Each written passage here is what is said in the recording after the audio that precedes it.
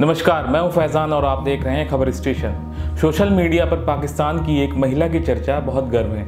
यह महिला दुबई में भारत और पाकिस्तान के क्रिकेट मैच में रविवार को छा गई।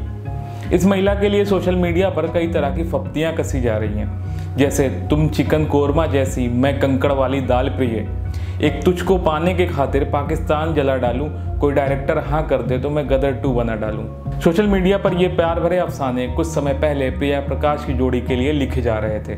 भारत, पाकिस्तान और बांग्लादेश मैचों के दौरान कैमरा कई बार इन पर आकर रुका। और फिर क्या था? भारतीय प्रशंसक इनके दीवाने बन गए। उधर पाकिस्तान मैच हार रहा था और इधर ये महिला भारतीयों का दिल जीत रही थी। इस साल फरवरी में कुछ इसी तरह लोग प्रिया प्रकाश के भी दीवाने हुए थे। दुबई में चल रहे मैचों के दौरान ये महिला पाकिस्तान क्रिकेट टीम की हरी जर्सी में दिखी तो बांग्लादेश के साथ मैच में यह ब्लैक आउटफिट में थी। लोग अंदाज़ा लगा रहे हैं कि ये महिला क्रिकेट फ़ैन पाकिस्तान की हैं। कई न्यूज़ वेबसाइटों का दावा है कि इस महिला क्रिकेट फ़ैन का नाम निव्या नवोरा है।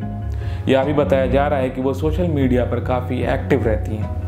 पर फेसबुक और ट्विटर पर इनके नाम के कई प्रोफ़ाइल हैं। कई अकाउंट तो इन दिनों बनाए गए हैं तो कई पहले से बने हुए हैं। सभी पर एशिया कप के दौरान की तस्वीरें शेयर की गई हैं।